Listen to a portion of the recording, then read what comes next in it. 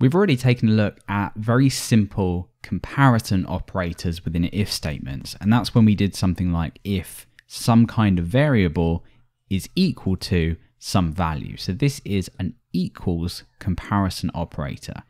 What we're now going to look at though is logical operators. Now logical operators sound more confusing than they actually are. Now we've already seen how to create an if statement and check if a condition is either true or false or if that condition evaluates to true or false. But what if we want to check multiple things? Now let's take a look at, again, just to recap, a very basic example. We know that this block here will be run if we go ahead and run this code because we know that 1 or true evaluates to true. Now, keeping this kind of example, let's make this a little bit more interesting and bring in the first logical operator. All this means is we can use this operator to say, well, is this true? So this first statement here, and is this true? So we need double and. Now you may see this written as and, which is perfectly fine, but generally we tend to use a double ampersand uh, to denote this operator. So in here, let's see if this will run. So let's just go and output the word hello. Let's come over, give that a refresh, and we see that we get hello output. So what we've done then is place this in here to say, is this true and is this true? Now this of course doesn't make sense because we are using two true values. We've essentially hard coded them in here. However, we know that if we had some other kind of statement in here and another kind of statement in here, then this would work. Okay, so let's make this more interesting. Let's go ahead and set this one to false. So this has to be true and this has to be true. Now you can probably guess this isn't going to run because both of these need to be true to go ahead and run this block. If we run this, we see nothing. Now we can chain multiple logical operators on. So for example, if we were to say and true, what do you think is going to happen here? So is this true? And is this true? And is this true? Of course, they're not all true. So we come over and we don't see anything. If we were to change this to true, this will work. If we were to change any of other of these to false, it still doesn't work. So basically anything we put in here if we're using the AND operator, has to be true. So to put this in another way, as long as we have false in here somewhere and we're using the AND operator everywhere, then this is going to always, this whole thing, evaluate to false.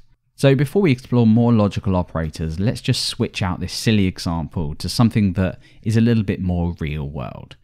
Now let's say that to enter a website, we needed a username and we needed a password. That makes pretty much sense. Well, in my case, I'm going to uh, hard code in what I am expecting for the username and password. So I'm going to say, well, when the user enters a username, I want this to equal Alex, and I want the password that they enter to equal I love cats. And then if that's the case, they are in. So we're going to say you are in. Now the username and password that they provide would be up here. So let's just say username, and I'm going to set this to Billy and then I'm going to set the password here to I love cats.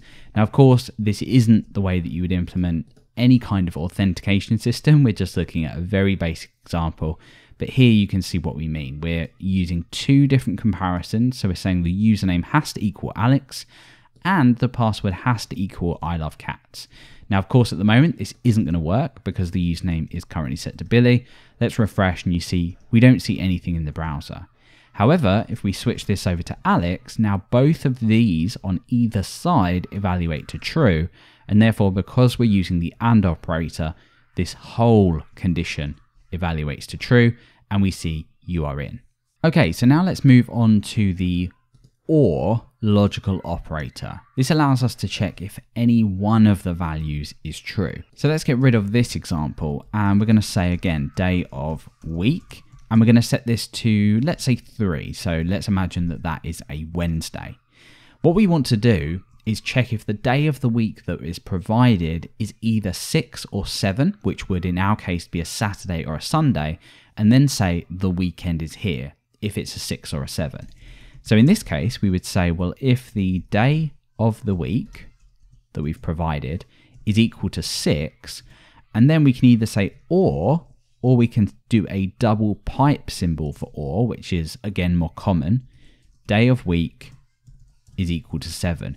So if the day of the week is equal to 6, or the day of the week is equal to 7, then we're going to echo out the weekend is here. Brilliant.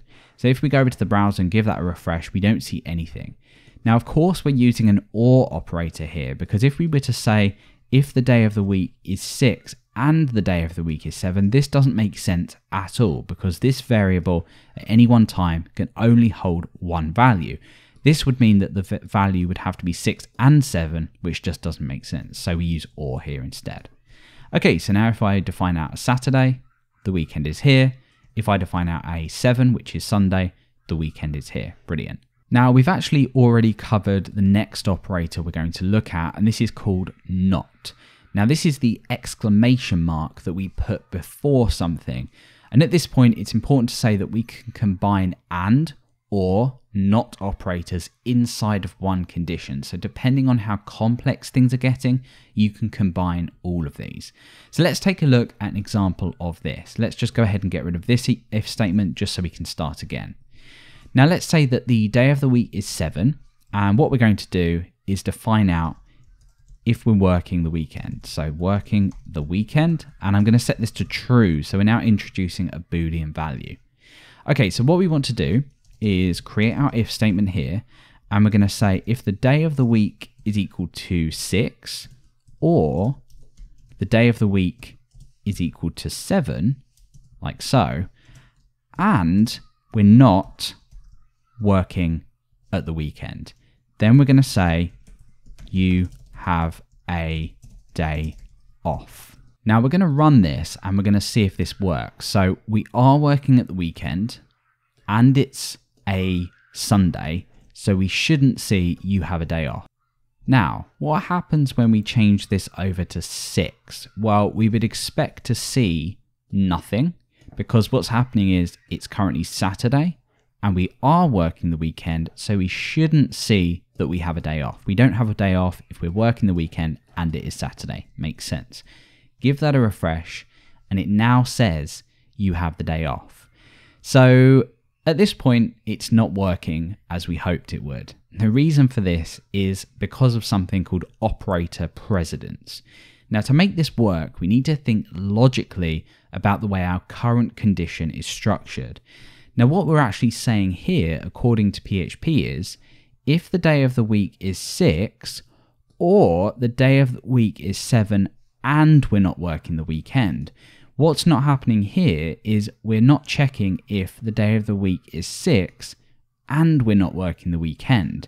So it's just kind of this part here being evaluated and then this part here being evaluated. So because the day of the week is 6, this is evaluating to true, and therefore we're outputting you have a day off. When in actual fact, if we are working the weekend and it's Saturday, we shouldn't have a day off. So what we actually want to say is if the day of the week is six or seven and we're not working the weekend, then run the block. So at first, these might seem like pretty similar conditions, but if you have a good think about this, it will start to make sense. So to fix this up, we want to basically put the condition here that we want to evaluate first into parentheses. So this is saying if the day of the week is 6 or the day of the week is 7 and we're not working the weekend, then we have a day off. So regardless of this being 6 or 7 now, we should see the same result. Give that a refresh. We haven't got the day off because it's Sunday. If we go ahead and set this to 6, this now works. We haven't got the day off. If I was to change this to, say, Monday, we don't see anything. If I was to change working the weekend to false and it's currently Saturday, we now see you have the day off. Same with 7, we now have the day off. And if we change this to 1, we don't have the day off because we're assuming that a working week is Monday to Friday. Now, don't worry if this is slightly confusing at first. The more you start to play around with writing code, the sooner these kind of things will sink in. And it's really all down to what you're trying to build. So that pretty much wraps up logical operators. You can find more information and examples of these over on the PHP manual, but pretty much the OR operator, the AND operator, and the NOT operator are really everything you're going to need. Just be wary of your parentheses and what is checked first inside of this condition so you don't run into any mistakes like we've already seen just here.